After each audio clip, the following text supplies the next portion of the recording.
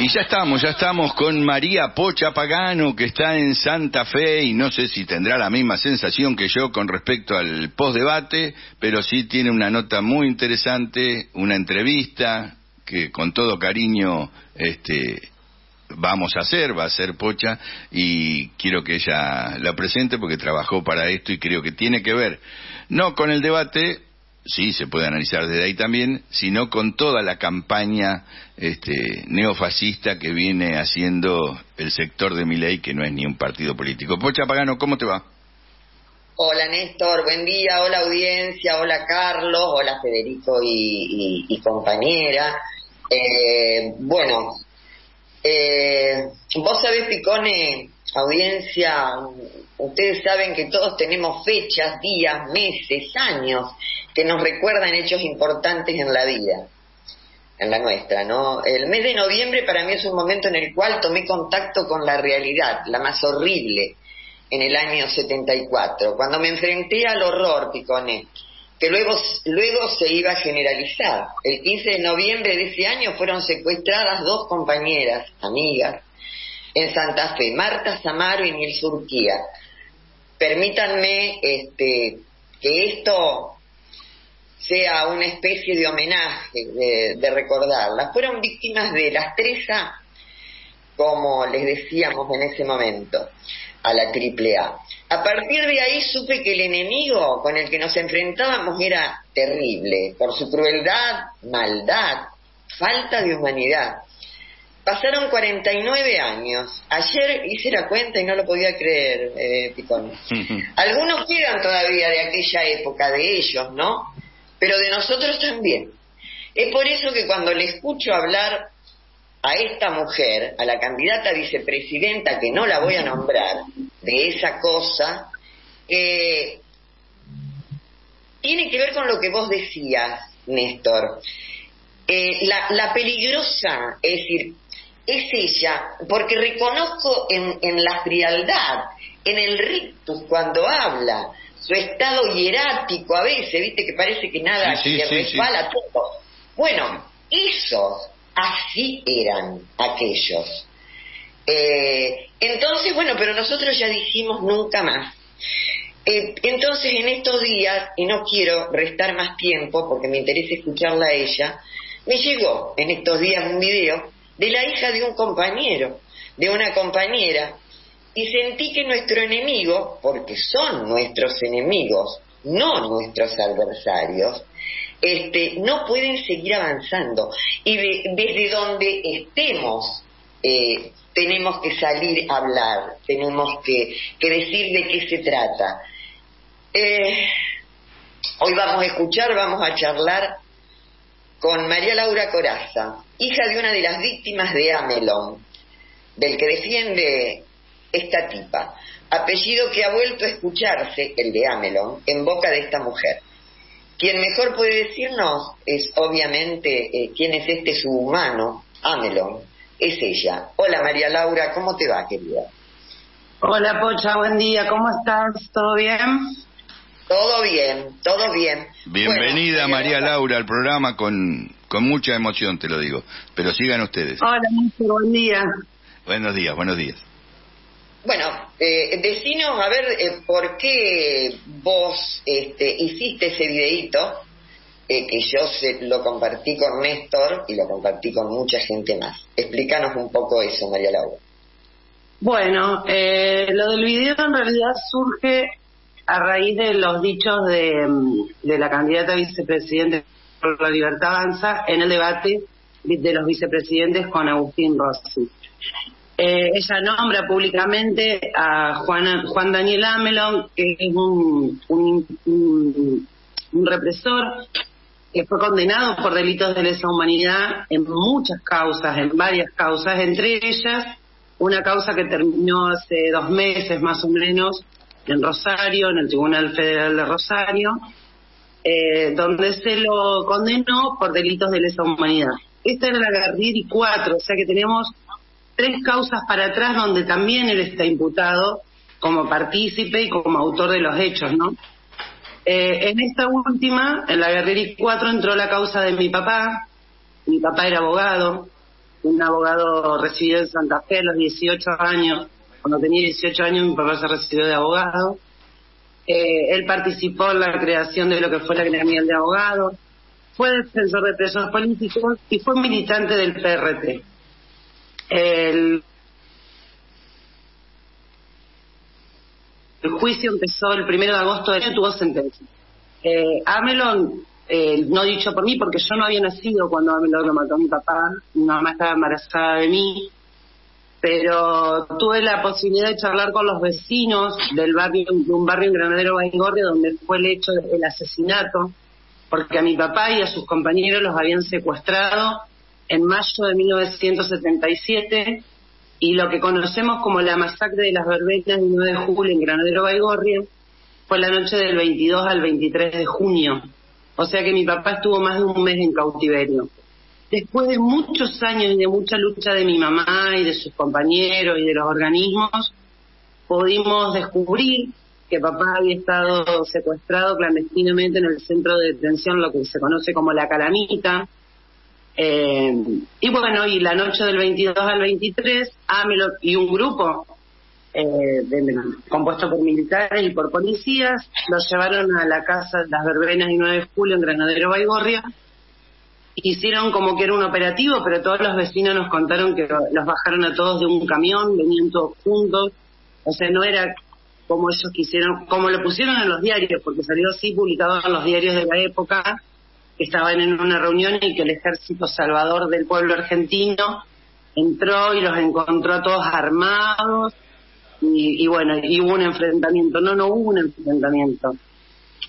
Ahí los vecinos nos contaron que entraron a la casa y que después fue Amelot en persona el que entró a la casa solo y los mató uno por uno. Inclusive hizo un simulacro de intento de fuga por una calle lateral y mató personas en la vía pública. Eh, y además de eso, prendió fuego un Falcon en la puerta de la casa de las verbenas, que era un barrio que se estaba armando, digamos, un loteo, un barrio con muy pocas casas, muchas casas en construcción. Y después salieron los diarios. Una semana después salieron los diarios, Pocha. Eh, o sea, tuvieron tiempo de armar todo, de, de, pergeñar todo para, para que pareciera un enfrentamiento. Eh, ese es Amelon. No solamente ese es Amelon. Amelon eh, tendría que explicarnos a muchos de nosotros, a todos nosotros, a todos los argentinos, porque la dictadura no nos pasó solamente a las familias de los detenidos desaparecidos, ni de los presos, la dictadura nos pasó a todos. Todos los argentinos somos víctimas de la dictadura. Hay un montón de niños que en ese momento eran niños que hoy tienen mi edad, un poquito más, o un poquito menos, que nunca fueron restituidos a sus familias, que fueron robados de sus familias. Sus abuelas los siguen buscando, sus hermanos, sus tíos. También la dictadura nos debería explicar, este, quizás también en la figura de Amelon, ¿no? ¿Qué hicieron con nuestro país? no es solamente lo que hicieron con las víctimas directas de la dictadura, como los asesinados, como los presos políticos, como los niños apropiados. ¿Qué hicieron con la economía de nuestro país, con las empresas de nuestro país, con los privados que se endeudaron en la dictadura y que la dictadura los salvó, que venían de esas situaciones? De eso somos víctimas todos los argentinos, no solamente nosotros, no solamente las familias. Eso es algo que, creo que se nos tiene que, grabar en la, en la cabeza, porque memoria de verdad y justicia no es solamente para las víctimas directas de, los genocidas. Son genocidas, son entregadores de la patria, son entregadores de nuestros capitales, de nuestros recursos naturales. Eh, no está bueno, digamos, que, que no nos sintamos víctimas todos, aunque no tengas un familiar detenido, desaparecido o asesinado todos somos víctimas de la dictadura y todas las generaciones venideras son víctimas de la dictadura. Eh, genial. Este, Néstor, yo tengo la posibilidad de verla a, a, esta nena que conocí cuando era bueno, era chiquita. Este, entonces te dejo a vos para que hables con ella, Néstor. Sí, lo quiero hacer digo, yo soy respetuoso, pero digo con mucho respeto porque me conmueve este, este relato, pero también lo que vale de este relato que está haciendo María Laura Coraza eh, es que, a ver, en aquella época tenía mucha impunidad como para cubrir y decir que fue un enfrentamiento, tener una semana para preparar, los vecinos no podían salir y hacer una movilización y denunciarlo. Digo para que la gente recuerde cosas de aquel pasado y lo que no lo vivieron, que vean que era imposible eh, hacer eso. Ahora, cuando aparece esta candidata, bancada por, por una estructura eh, político-militar también, porque es así, hay militares detrás de esta mujer, este, esa impunidad ya no existe. Esa batalla está ganada, yo siento que eso está ganado, yo sí que produce mucho dolor eh, tener que recurrir a una historia de vida como la que dice María Laura, pero digo, así como ayer en el debate yo pongo ganadora a, a Massa, eh, pongo ganador al pueblo argentino y en la voz de María Laura impedir la impunidad. Impedir que estos discursos que se dicen alegremente y con carita de bueno o buena, este, escondan aquella impunidad que tuvieron en aquel tiempo con la idea de que se vuelva a repetir, que yo creo que es imposible que se vuelva a repetir por estas cosas que estamos diciendo, pero también sí pueden lograr que se reinstale un debate que ya está ganado. Y por eso, eh, cuando Pocha propuso y, y esta, esta, esta entrevista que es entre afectiva, casi familiar y histórica. Este, para mí vale muchísimo, María Laura. ¿Estás, María Laura? Ay. Puede ser que, que no tengamos... Ahí hasta, digamos. Eh, y la verdad que, eh, sinceramente, yo creo que, sí, que es un, debate que se dio, que se sigue dando y que por suerte uno eh, cree que, no va a volver a pasar. Pero lo que es real es que yo no le voy a decir a la gente a quién tiene que votar, ni mucho menos. Pero lo que sí sentí es que, y lo, y, lo, analizo desde, desde este punto, ¿no? Si nosotros no podríamos tener un gobierno democrático como el que nos propone Sergio Massa, eh, probablemente haya un montón de cosas que tengamos que volver a discutir y hay un montón de otras cosas que no vamos a poder discutir. Eh, siempre en democracia, o sea, la democracia lo que tiene de bueno es que uno la puede ir perfeccionando, la puede ir arreglando, la puede ir acomodando, puede ir resolviendo vicios que puede tener la democracia, pero siempre en democracia. Cuando uno escucha los dichos de, la candidata de la libertad avanza y, lo que eso significa, uno también eh, no deja de hacer el análisis de lo que significó la dictadura en, nuestro país del, del desapego hacia la política, de la desconfianza, algo que están queriendo volver a instalar. Que yo creo que para un problema político siempre la solución es política y siempre es desde la democracia. Entonces por ahí eh, uno no, no, no, plantea esto como, como una cuestión personal, digamos, porque, insisto, como te dije al principio, no es solamente a mí. Cuando yo veo chicos de 20, 25 años que me dicen, bueno, pero la política hasta ahora mira cómo estamos, sí, pero esto como estamos lo podemos acomodar.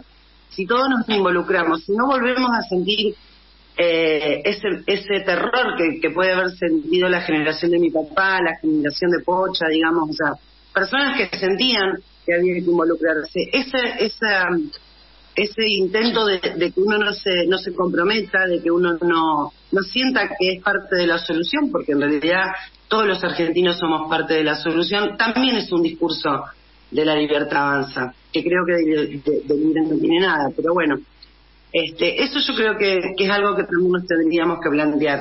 El hecho de que, de que los de que la candidata no solamente reivindique el terrorismo de Estado, sino que además eh, me parece que el planteo es este, lo que nosotros tenemos que entender hoy es que el terrorismo de Estado no es solamente secuestrar gente y asesinarla y desaparecer personas y, apropiarse de los niños.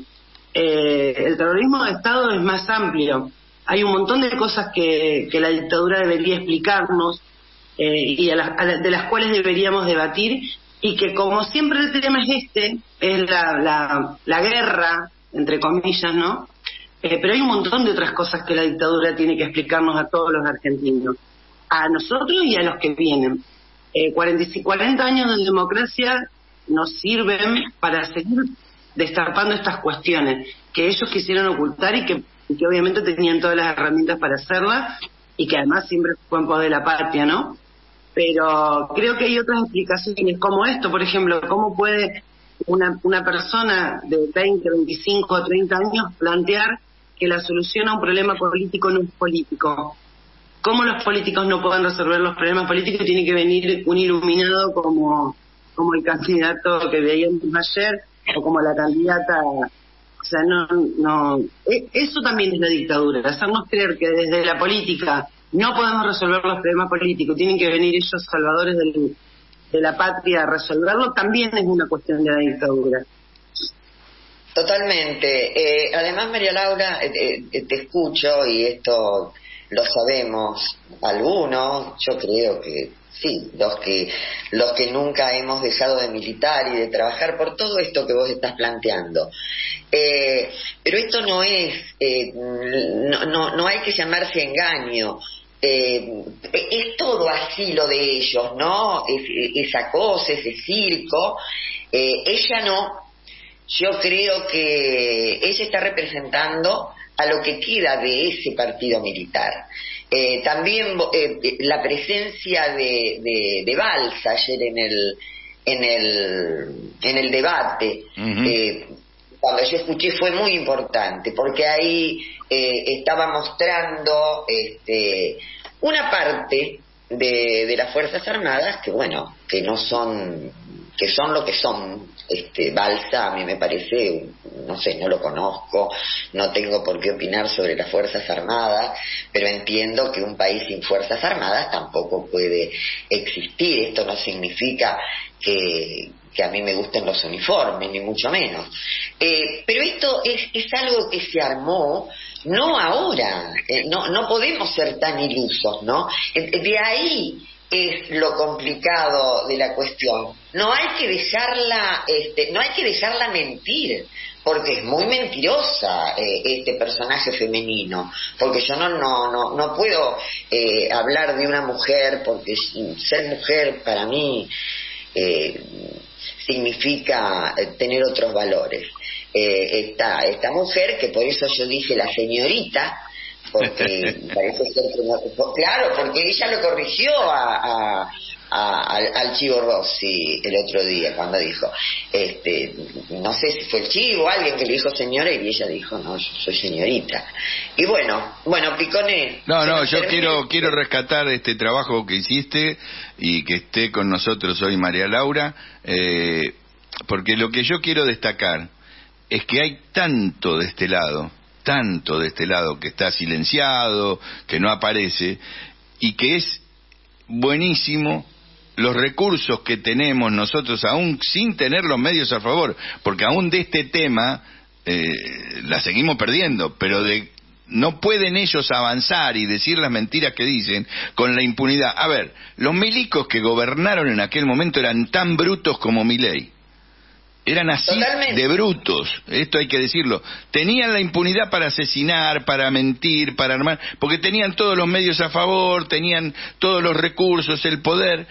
Pero después de 40 años, como dice María Laura, la democracia tiene sus recursos y a mí lo que me emociona, y te digo, se me pone la piel de gallina, es que lo diga María Laura, o sea, una persona que puede dar fe sin tener que inventar ni decir qué mala que es, qué fulana que es. No, no, esta es la realidad que se vivió, muchachos. Y eso tiene un valor impresionante y tenemos muchas María Laura que por ahí ni salen, o la hija de, de Ana María Cariaga el otro día en el subte, digo, vos la conocés también, este, de chiquita, este, Pocha, digo, esos pibes como María Laura, que ya no son tan pibes, o la hija de Ana María, este, que salen a defender eso, y eso es incontrastable, no hay medio de comunicación ni nada que pueda este, imponerse. Así que yo te agradezco, Pocha, y María Laura, María Laura Coraza, también. Tu cierre, María Laura, lo que quiera decir, el micrófono está abierto para vos.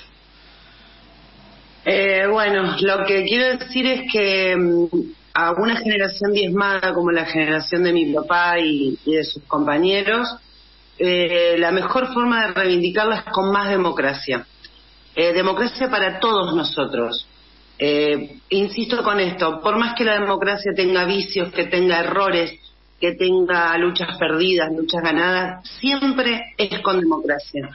Eh, cuando uno ve el Estado y siente en el Estado un Estado protector, siempre hay formas de modificarlo, de cambiarlo, de hacerlo mejor, de que nos llegue a todos. Pero si el Estado es para unos pocos, estamos fritos. Y mm, sobre todo invitar a, todas las generaciones que vienen, a las de mis hijos, a las de mis nietos, cuando los tenga, eh, a mis compañeros de mi edad, de la tuya, a todos, a que entendamos que la democracia es de todos nosotros, de nosotros y de nuestro futuro. Sin democracia no hay Estado posible, no hay país posible, no hay futuro posible. Siempre en democracia. Gracias María, Laura. Pocha. Genial María Laura. Y bueno, este, yo quiero, porque el domingo próximo eh, ahí vamos a tener que ir a votar, ¿no? Entonces, eh, hay que rescatarlo, he hablado con María Laura también, porque yo vengo del mismo, del, del, mismo palo que, su papá. Eh, pero bueno, no, en otro momento analizaremos por qué voy a decir esto, porque yo no... Algo que dijo el Pepe Mujica, que son cinco, seis, siete palabras. Vamos a ganar, pero tenemos que ser conscientes de lo que dijo el Pepe. El peronismo es un animal que está vivo y realmente, realmente yo lo siento por los que, que en algún momento han tenido ataques de, gorila. Eh, no, es mi, no es mi caso, no creo que sea el caso de María Laura, eh, pero bueno, como es el último programa antes de las elecciones, a votar compañeras, compañeros, espero que hayan escuchado con atención lo de María Laura. Eh, y bueno, un abrazo enorme María Laura y a ganar el domingo para sacarnos de encima este lastre que parece, es como el huevo de la serpiente, siempre. Abrazo grandote, María Laura, y muchas gracias. No te vayas, María Laura, no te vayas, Pocha. Vamos a poner ese audio porque es un hallazgo también, como lo dice, con la brevedad que lo dice María Laura, y es para viralizarlo y que lo escuche todo el mundo. Con esto nos vamos a la segunda parte de Salir por Arriba. Gracias María Laura, gracias Pocha. Carlitos. Mi nombre es María Laura y quiero repudiar los dichos de la candidata vicepresidente Villarroel. Ella reivindica a una persona como Amelot, que es un condenado por delitos de lesa humanidad él mató a mi papá, Alberto Coraza, en la noche del 22 al 23 de junio de 1977. Él estuvo en cautiverio más de un mes y fue asesinado junto a sus compañeros por esta persona, que para ser más espectacular el operativo fraguado, prendió fuego un auto en la puerta de la casa. Yo no quiero eso para mi país, para mis hijos, para mis nietos. Son 30.000, nunca más.